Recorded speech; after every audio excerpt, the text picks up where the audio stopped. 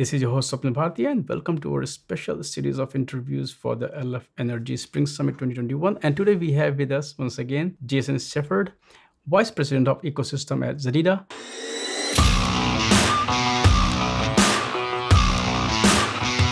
So let's talk about Zededa a bit. I mean, uh, we have covered Zededa, the our audience know, but I want to hear from you. So Zededa is uh, focused on orchestration for distributed edge computing, and and by distributed edge we mean compute that's from the fringes of the data center, you know, on-prem to out in the field. Could be on a wind tur- in, a, in a wind turbine, could be on a manufacturing floor, could be in a truck.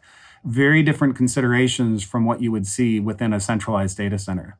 Hardware and application orchestration and management if you look at the energy sector itself, it itself is changing. It's no longer you know the old age because now the, the amount of energy we are consuming in is massive. We do talk about cloud downtime but if your power is down we saw what happened in california. Everything is down which i mean there's a new kind of stress there. There are other challenges which comes to just how you transmit power from i mean there are a lot of hardware what kind of wires and you know that you're using. But let's talk about uh, substations. We're not talking about windmills which are already using iot and edge and kubernetes. Let's talk about how things are changing. Talk about some of the macro trends that you are seeing in this space which is kind of demanding uh, you know new solutions and which also leads toward uh, open source solution, white boxes instead of black boxes and proprietary solutions. So it's a big broad topic, but let's start there. Yeah, I mean, like you said, renewable energy is a newer space, so there's there's less regulation. There's also just not the legacy infrastructure. So we're definitely seeing you know a lot more you know intelligence already deployed there you know still there's still a lot of work to be done but it's just different than you know classic utilities I mean, being in Texas, I know firsthand some of the issues with the grid. I mean, uh, last month, you know, if, if you hadn't heard, like we had a the polar vortex that came through, and and basically the power grid in Texas was.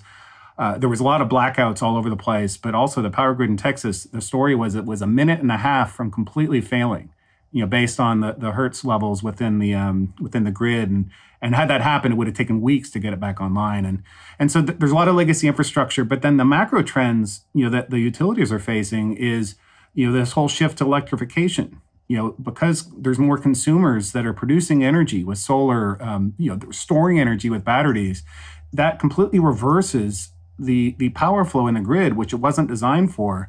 And you have to plan, you know, somehow for the changes because they're not constant. These sources. And so there's a lot of challenges within the utility grid today, and and you know the, the legacy infrastructure makes it especially challenging. So what you're seeing happening in the in the market, um, you know, is this this move towards more open collaboration as to how do we go address these macro changes, and this is a key point of LF Energy from a standpoint of let me provide a vendor neutral place where you can come together. Maybe you know a lot of the utilities aren't used to this open you know kind of source collaboration. It's just a different mode but come together, um, drive standards through that collaboration, including on code, and see if we can address some of these macro challenges and help the utilities transform themselves as, as they need to over the coming years. What role are you playing, not only at the foundation, but also within the ecosystem as well? You know, our foundation, Zededa, uh, as a solution, we leverage uh, EVE-OS from LF Edge, you know, a sister project, umbrella organization within um, the Linux Foundation. And, you know, think of EVE-OS as uh, the Android of the edge, a very opinionated stack uh, for the foundation of edge hardware that um, you know has a lot of capabilities to not only support legacy workloads like virtual machines, you know, be able to run um, existing Windows-based apps, etc., but also support modern workloads like containers and Kubernetes clusters and, and things like that.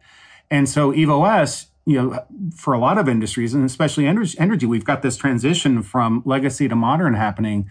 We're working with LF Energy in terms of how we can um, put EVE-OS into the reference architecture with all the projects that are happening within that broader umbrella uh, as this universal base um, that helps provide that secure security, the transition from legacy to modern, um, you know, a lot of extra capabilities through that open foundation in the broader scheme of things, what EVE-OS, you know, I mentioned the Android of the edge, is it's creating a network effect with an ecosystem of providers, not only open source, but also commercial providers that can attach applications to EVE-OS And then since EVE-OS is a, a universal option in terms of support for legacy and modern and all these extra features, um, it creates a, a bridge to hardware below. You know, just like Android, it's got you've got the Play Store for all these apps, and then you've got these device makers that are unified below.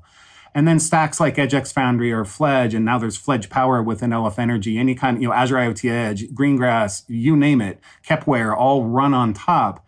And you don't have to think about that hardware, which removes massive complexity for any market, but in, in energy is we're we're trying to transform. It's important, you know, to have these open tools that enable you to focus on your problems versus reinventing the base. Talk about uh, how these open source technologies are being embraced by the ecosystem. Definitely, as we talked about renewable, uh, we saw some of the initial traction. So you know, EVE-OS running on hardware is is currently deployed in wind, wind turbines uh, out in the field. They're using um, actually audio data to to listen for changes within the, the nacelle in that turbine, uh, and that kind of indicates potential failures. So that's an example in renewables.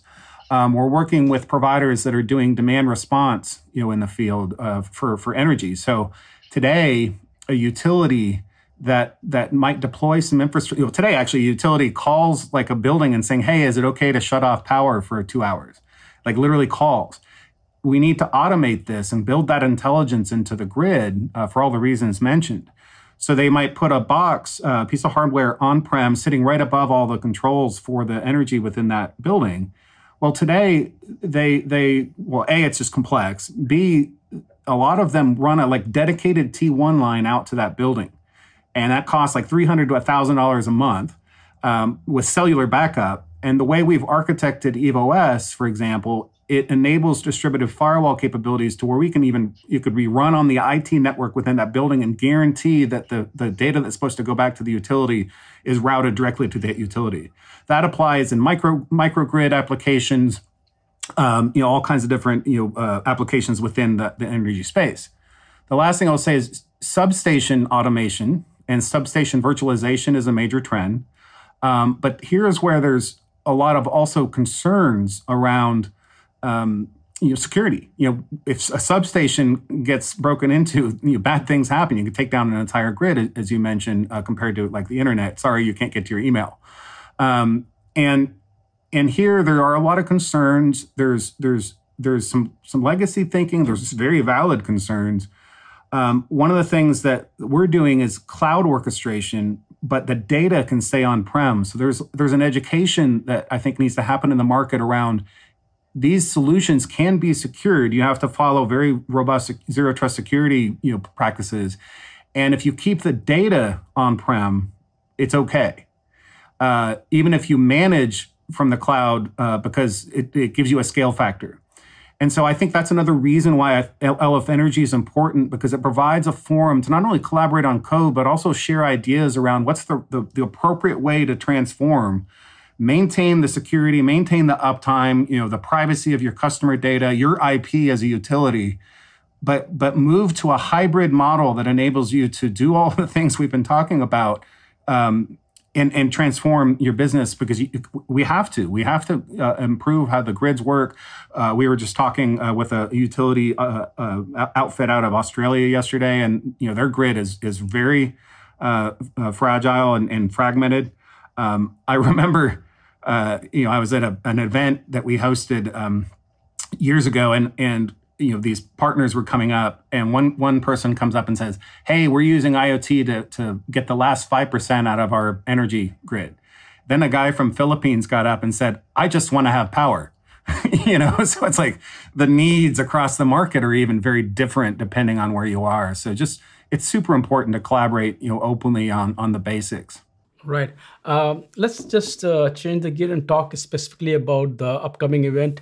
Tell me a bit about how is Zededa uh, participating at the LF Energy Spring Summit? Yeah, so so I'm I'm presenting. Uh, we're going to talk about you know of course the value of EVE-OS as part of the reference architecture. We've been working with the team and and um, you know collaborating with companies like OSIsoft and RTE that are very active, dynamic, very active within the the community.